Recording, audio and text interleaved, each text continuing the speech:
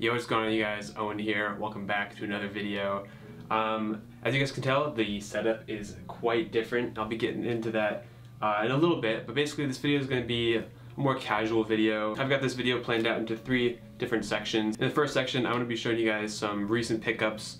Um, I have a lot of new pickups, but I want to keep it slim, so I'm going to be showing you guys, let's see, one, two, three, four, five, six, seven-ish pickups. Um, and then the second part of the video is going to be a room and closet tour because there are two separate rooms again, but I've got a new setup. A lot of you guys had asked to see a little room tour, so I thought I'd throw that in. And then the final part of the video, a little bit different for the channel, but um, I decided to throw in some like Warzone clips. I won't spoil if I win or anything. I've got a few different games, um, some solo and some squads with uh, some guys that you might know.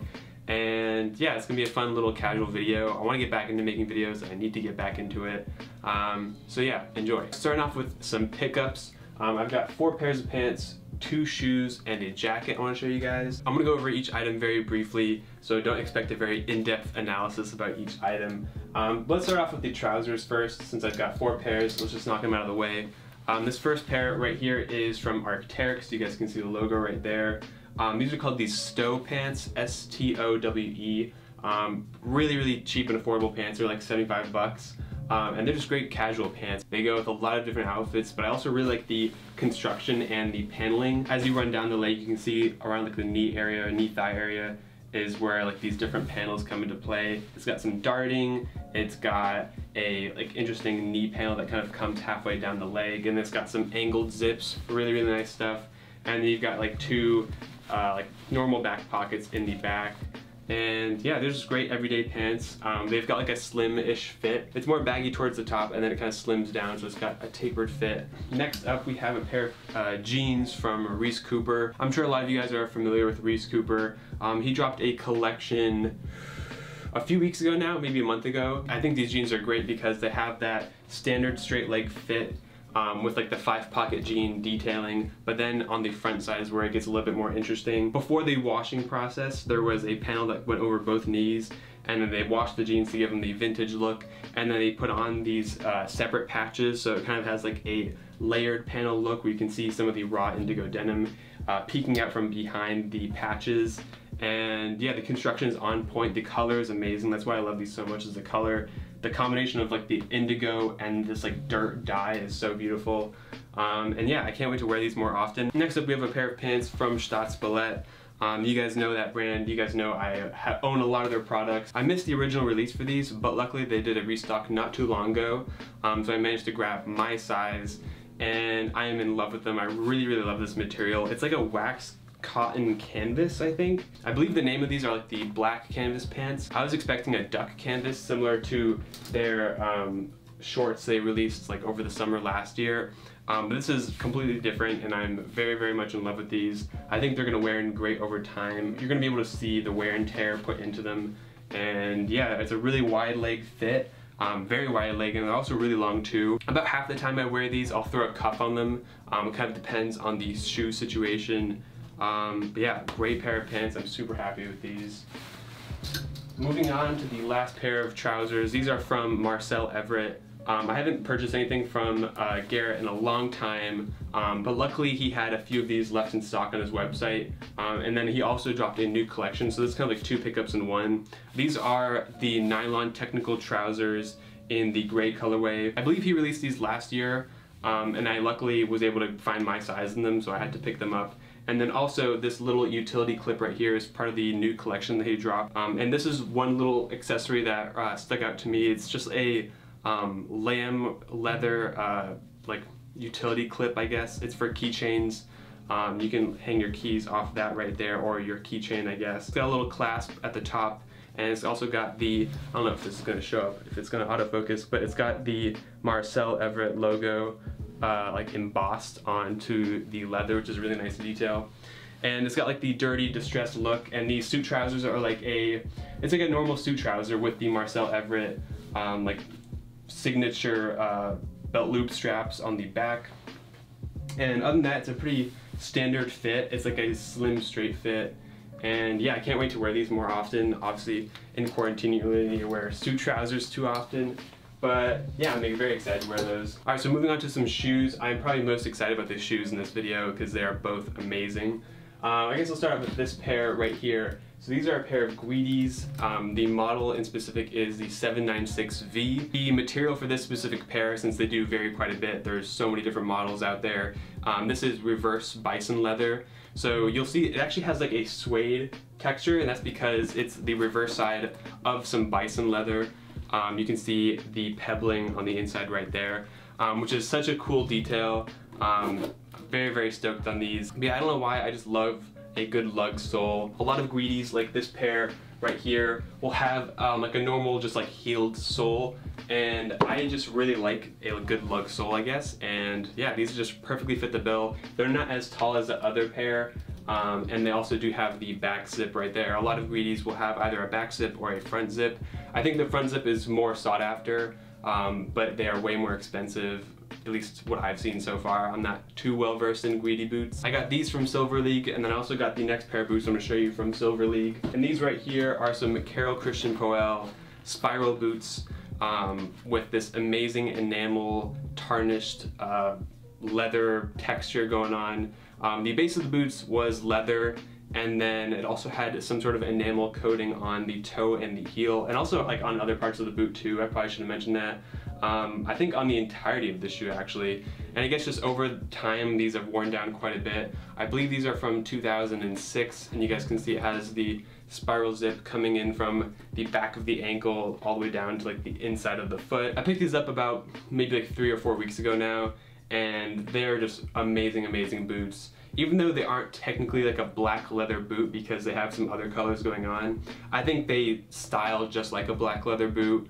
Um, and I really like the color variations too. You guys will see in some lighting, it has like a green sheen to it in some areas and then that brown slash orange kind of like really pops out and it just creates a really unique look that you don't see in any boots ever. I also posted probably my favorite photo on Instagram wearing these boots and yeah, I'm just so stoked on that photo. And then to finish off the pickups with one last item, this is just like a cheap item um, not designer or anything like that. This right here is a nylon Uniqlo little rain trench coat kind of deal. There's nothing special about this item at all. I just want to show you guys because I thought it was a great pickup. Um, I got it on sale. It was like 50 something dollars, I think. And just kind of like fit the bill of exactly what I was looking for. I wanted a nylon trench and I was thinking about buying a designer one for a little while, but they were just so pricey. And then I found this one on Uniqlo, which is exactly what I was looking for on sale. Had to pick it up. It did come with a quilted uh, lining, but I took that out since it's like a button lining. And it also has hidden buttons on the front, so you'll see has this little extra layer to cover up the buttonholes right there. Um, and sometimes I'll rock it with the collar up for a more like, Don't know, a more sleek look I guess. And that's gonna do it for the pickup section of the video. Like I said earlier, there's two other sections, so I highly recommend sticking around for that and enjoy. All right, so we're gonna do a quick room and closet tour since I'm back in Boston. I'm not in my normal apartment setup and things have changed quite a bit around here. Um, I now have a dedicated closet room which is behind this wall. Um, as you might have noticed there are no clothing racks in this room anymore. I used to have my YouTube recording set up right against here. Um, I had like two clothing racks against this wall and I had my bed pressed against this corner right here but that is no longer the case. More space efficient if you ask me. Um, but yeah, I thought I'd give you guys a quick little tour. So I'll do a quick pan around so you guys can see how big it is. Um, it's not huge, but you know, it gets the job done. I make it nice and spacious. So I thought I'd go, I thought I'd go over each part of the room so you guys get an idea of like how I organize the room. Over here we have my shelf. Um, I originally bought this shelf for storage purposes for my um, brand's inventory, um, but I decided to use it for just like more tabletop surfaces. So I've got some shoes up there. We got my switch back in that corner with some uh, random cables and whatnot. Camera equipment stuff, like lenses and my other camera, microphones. Um, and then we've got some notebooks down there and some jewelry stuff like necklaces, rings, um, all that good stuff is right over there. Easy access. Um, and then let's see what else we got. Steamer, handheld steamer is a must for anybody uh, some hoods, masks, that kind of thing, shoebox, and then down below we have lights and tripods. And there's my dog's bed. Um, and then this right here is my bed. I don't know what size it is. I, I believe the bed frame is from Ikea. Uh, it's very, very old though. I've had this bed frame for a while. Um, and then panning across, we've got my dresser. And yeah, it's just a basic dresser with like the soft closing drawers. Got my flat screen right here. This is actually the flat screen I had in my apartment. Um, but because I didn't know where else to put it, I just kept it in here for now. It's not even plugged in or anything. It's just sitting there doing nothing. I'll probably hook up something to it eventually. Just haven't figured that out yet. Um, and then we've got a little essence holder from uh, Jacob Hetzer. This is one of his most recent releases, the Smoke Ring. Um, you can see that's got some use already. I got to clean it out. Uh, and then we've got my vintage 1979 original Nostromo hat from the movie Alien. The original one, the real deal. Um, we've got some more shoes up here. This is just like my boots, or most of my boots, I guess. Some Visvim, some cowboy boots, good stuff like that. And then panning across, we've got the main setup. When I'm not using my laptop, which is right in that corner, I'm usually using this thing. Um, this is a custom build from CyberPower PC. And then um, I've got my curved MSI 144 hertz monitor right there. And I've got that on a Amazon Basics monitor arm. So I can, it's like, so then it's floating. I can move it around however I like. Um, you might have noticed that there's no chair here. That's because this is a standing desk. It's actually a sit to standing desk, but I like to have it permanently standing. This right here is a control panel so I can adjust the height. So let's watch that happen. There we go, it's going down. But I like to have it standing all the time, so I'll set that back to 112, which is my ideal height. There we go. There we go. The reason why I have a standing desk is because I have um, like a really bad leg problem that flares up if I sit for too long. So this really helps with that issue. I also have a little foot fatigue mat. Uh-oh, foot reveal. Basically, it just helps you stand for extended periods of time. Um, I'm able to stand for, you know, eight hours if I need to, because this thing like lowers the impact it has on your feet. Um, since this is like a hardwood floor, it's nice to have a soft pad to stand on. And um, yeah, let's see what else we got. So peripherals, I've got my Corsair. I think this is a Corsair K70. Um, this is a this is a keyboard I used back in like high school. then we've got my SteelSeries Rival. Um, I've gone through quite a few of these. And then we have my Razer Goliathus mouse pad. That's just one that I've had for a while. And then I don't even know what this headset is. Razer. I don't know what model. Um, and yeah, my computer just turned on because I touched everything. But yeah, it's got lights and shit. It's a really good computer. I'm very, very happy with it. Handles Warzone quite well, as you guys will see later in the video. But what else, what else? Um, it's got one extra shelf over there. And then, oh yeah, a couple people were asking about this rug. This is just a cowhide rug. It's, um, you can, you can see that's real cowhide, um, not vegan safe or anything like that. But yeah, I say we hop into the closet, which is right through here. Let's go over.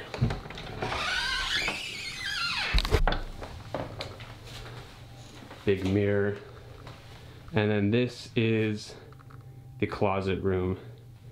Very, very jam-packed. Got lots of stuff in here. Um, so just a quick overview of how I have things laid out. I've got jackets over here sweatshirts and vests and button-up shirts right here. This is all my pants laid out along here, going across, and then this is just my t-shirts. I recently slimmed down my t-shirt collection quite a bit. I probably had double this. And then this right here is just an extra rack. Um, I didn't want to get third one of these racks, so I just have a temporary rack right here with um, just some extra jackets. It's not really a good space for them right now just because they're blocking the window, but it gets the job done, I guess.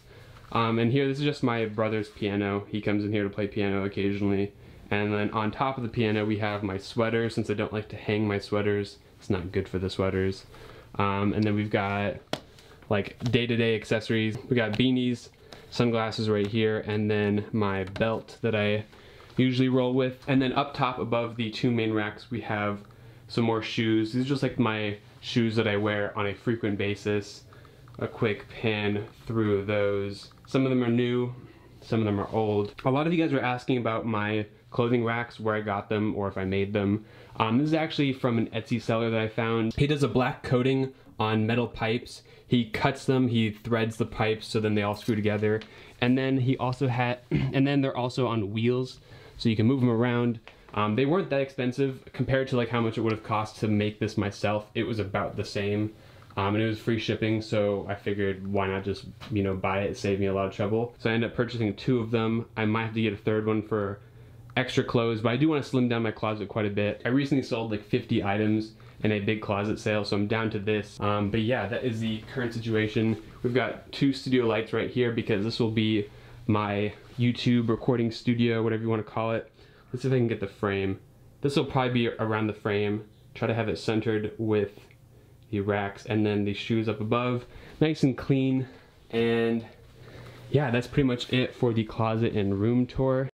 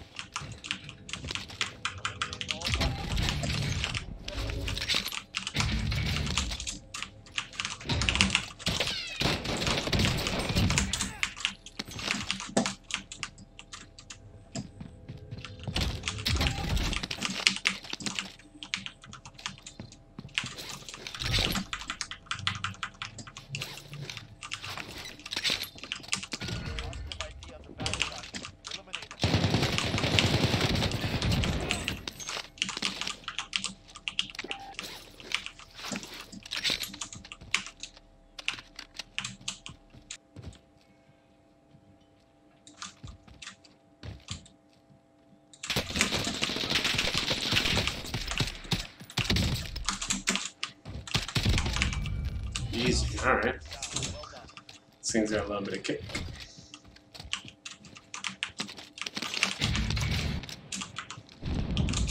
Whoa, whoa, whoa, whoa, whoa, whoa, whoa. Ah, dude.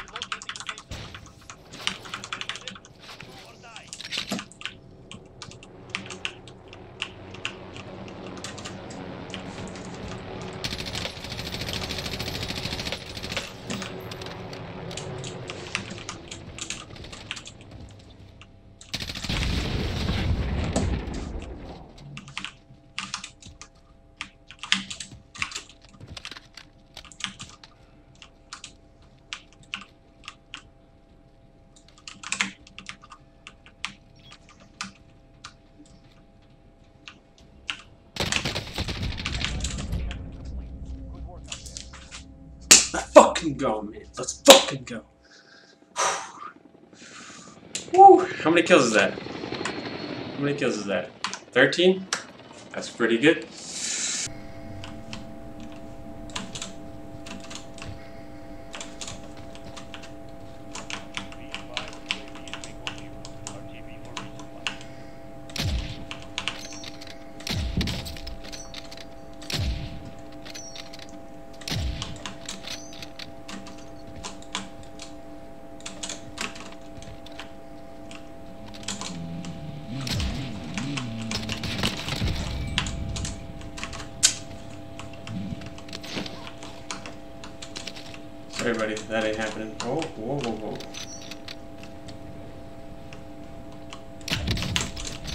Oh my god.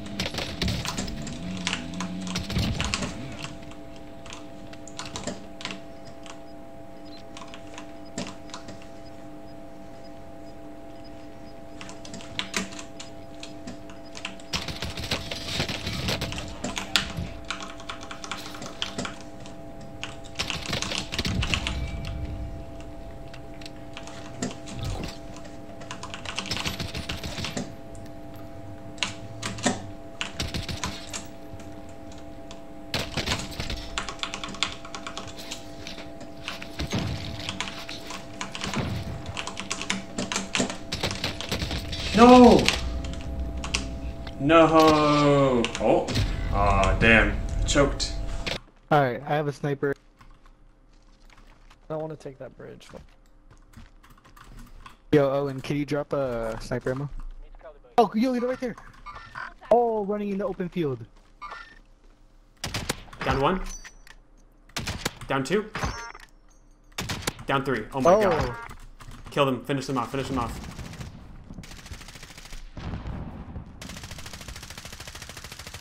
One more.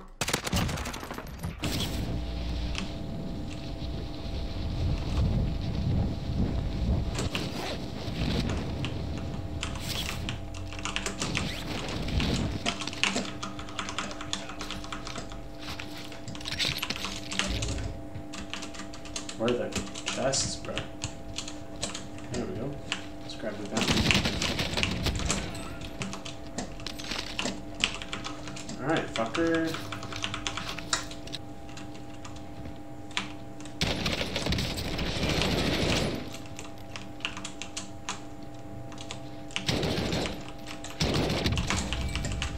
Alright. Why can't you shoot through that?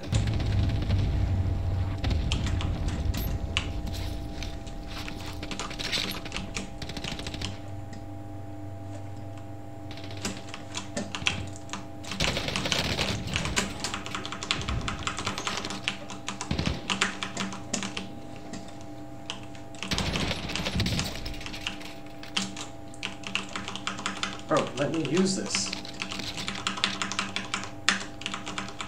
Can you not armor when you're dead silence? Probably not.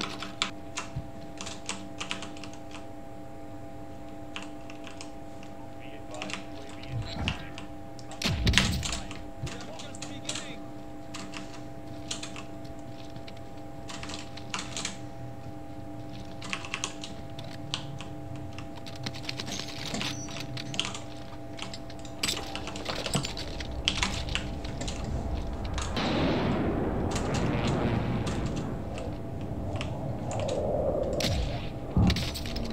Wow. Where's the other guy?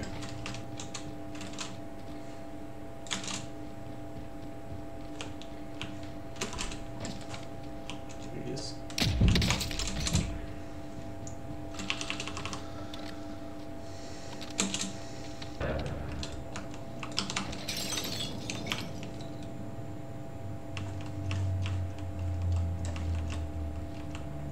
Guess he's up there.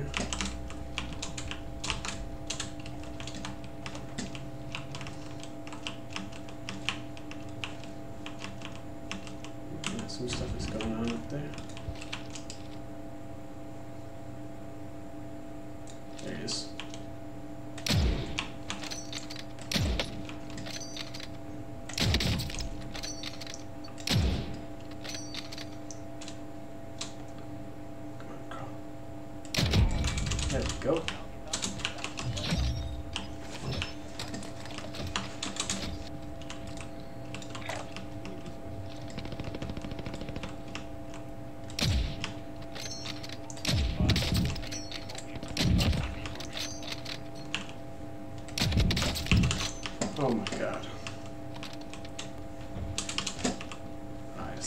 this building. Oh my god, no!